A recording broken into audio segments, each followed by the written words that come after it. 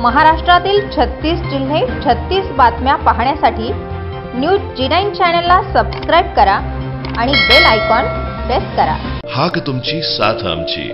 छत्तीस जिल्हे छत्तीस बातम्या. News G nine Maharashtra. उत्तर तुमच्या प्रश्नांचे. औरंगाबाद कन्नडचे माजी आमदार हर्षवर्धन जाधव यांनी आज शेतकऱ्यांसाठी बैलगाडी मोर्चा आयोजित केला होता. यावेळी विविध मागण्यांचे निवेदन विभागीय आयुक्तांना देण्यात आले. शेतकऱ्यांची वीज परत जोडणी करावी वीज तोडणी थांबवावी आणि जळालेला डीपी लवकरात लवकर मिळावा आदी मागण्यांसाठी विभागीय आयुक्त यांना निवेदन देण्यात आले. त्यावेळी ते काय म्हणाले पाहुयात. या प्रसंगी रायभान जाधव विकास आघाडी पॅनलमध्ये नियुक्त झालेल्या उमेदवारांना नियुक्तीपत्रे देण्यात आली. याबाबत श्रीमती ईशा झा यांच्याशी आमच्या प्रतिनिधीने साधलेला संवाद. सुद्धा शेतकऱ्याचा धोक्यात आलेला आहे. आणि त्यामुळे तातडीने या वीज तोडणीचा जो कार्यक्रम चाललाय हा बंद करावा आणि शासनाच्या परिपत्रकाची अंमलबजावणी करावी या विषयासाठी आम्ही आता विभागीय आयुक्त महोदयांना भेटतोय. त्याचबरोबर जे शासनाने निधी दिलेला आहे घोषित केलेला आहे तो निधी केंद्र शासनाच्या तेरा मे दोन हजार पंधराच्या जी आरनुसार अपर्याप्त आहे.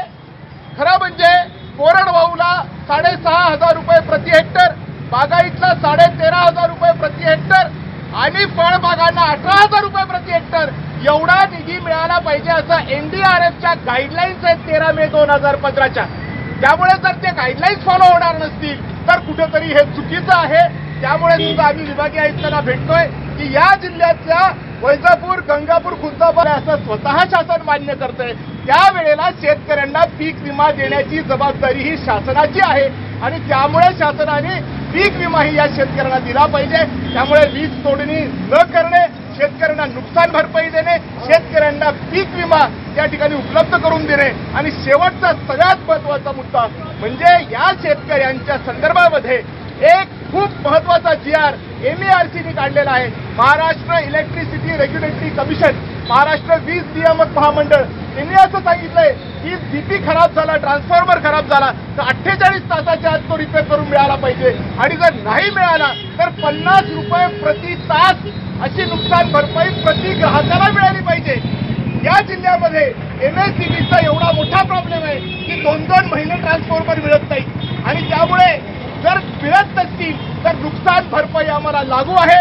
आणि त्यामुळे एम एस सी बीनी या जिल्ह्यातल्या अशा तमाम शेतकऱ्यांना नुकसान भरपाई दिली पाहिजे, ज्यांचे ट्रान्सफॉर्मर्स एमएससीबी देऊ शकत नाहीये, ज्यांचे फ्यूज एमएससीबी देऊ शकत नाहीये. आणि ही सगळी माहिती संकलित करून या जिल्ह्यातल्या शेतकऱ्यांना एमएससीबीने नुकसान ईमानदारी से, मेहनत से लोगों के लिए काम करते हैं।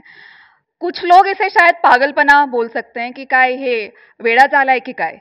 कि काय कुछ लोग पॉलिटिक्स में रहने के बाद भी पैसा नहीं बनाता है, ईमानदारी से लोगों के लिए काम करता है।